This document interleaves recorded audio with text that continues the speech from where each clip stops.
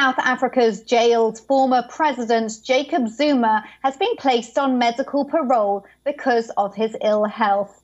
Zuma, who is serving a 15 month sentence at the Estcourt Correctional Centre, had to earlier be hospitalized for medical observation in August.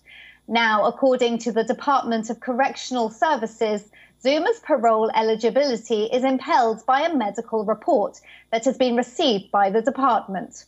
The report further highlights that apart from being terminally ill and physically incapacitated, Zuma also suffers from an illness that severely limits his daily activity, which can be considered for medical parole.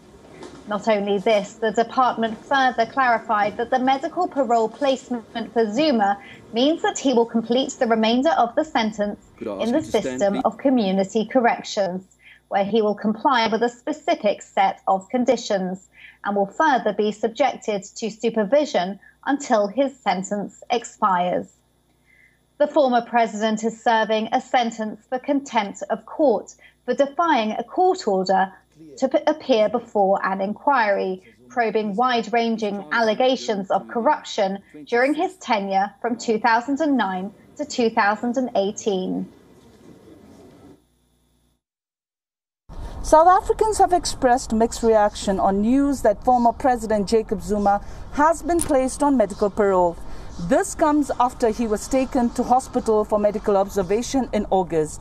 Even though Zuma's exact illness have not been disclosed, it is said that the 79-year-old is not in the best of his health and he also underwent a surgery procedure while in hospital.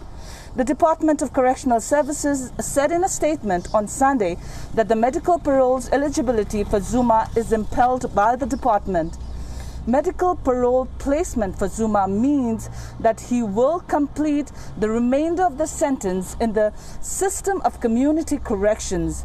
He must comply with specific set of conditions and he will be subjected to supervision until he completes his entire sentence. The former president was serving a 15 month jail term for contempt of court for refusing to testify before Zondo Commission of Inquiry into state capture. This is Golden Olmo from Johannesburg, South Africa. For WION, World is One.